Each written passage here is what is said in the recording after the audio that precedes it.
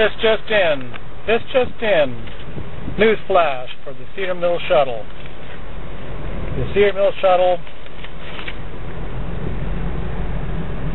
fare collection policy change. It reads, Dear valued customer, for the past five years, the Cedar Mill Shuttle has been informal as regard to fare collection. However, given the recent focus on rising costs and fares, it's now necessary for us to check fares at the time of boarding as we do on our other forms of bus transportation.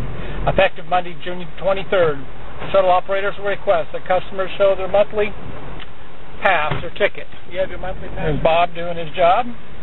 Continuing on the fare collection policy change, it's necessary for each customer to show each time they board their ticket or cash fare.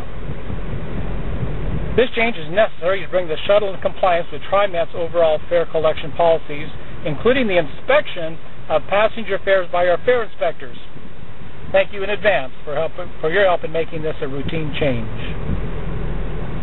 There you have it, folks.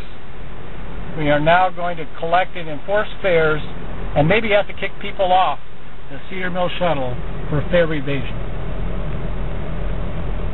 Pete had mentioned earlier that he didn't think that was a good idea. I have to say that, of course, 90% of our, 95, 99% of our customers already have passes.